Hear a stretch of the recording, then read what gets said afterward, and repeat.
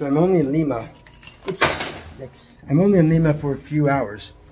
So I got a hostel. And um, I'm about to go see the room. So come with me.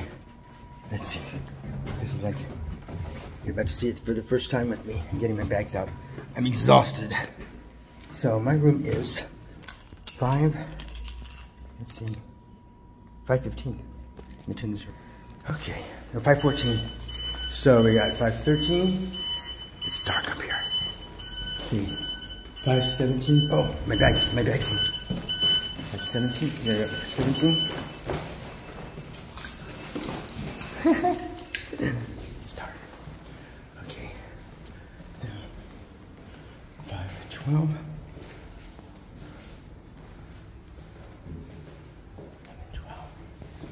Let's see. What's this one? Oh my god. I feel like I'm in a bathhouse.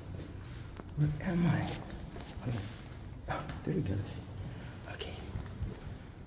Five, four, seven. Wait. Five fourteen. Okay.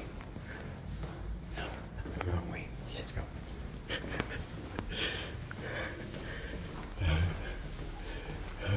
You guys are experienced 13? Oh my god, don't tell me it was right next to the elevator. There's my bags. 17.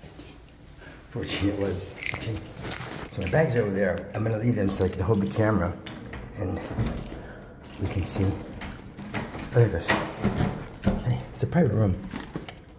Hey! Not bad for a hostel. Let me go get my bags. Not bad, right? Not bad. Um, wow. Um, it's right next to the airport. You pay like 40 bucks. And, um, let me let's look at this place. There you go. It looked, um, a little scary at, at, at, at when I first walked in, but, um, it's nice. It's really nice. Um, see, look outside. This is, um, Peru or in Lima. So, uh, yeah, that's it. Ah, look, there's some birds right there. You see them? Look. Look, look, here's the birds. Hi, birds. Those are my pets. uh, okay. So, this is my room. Oh, wait. You know what? Uh, I don't a... I don't think I have a private... Oh, I do. I have a private bathroom. I didn't think I did. Look, this is nice. Yeah.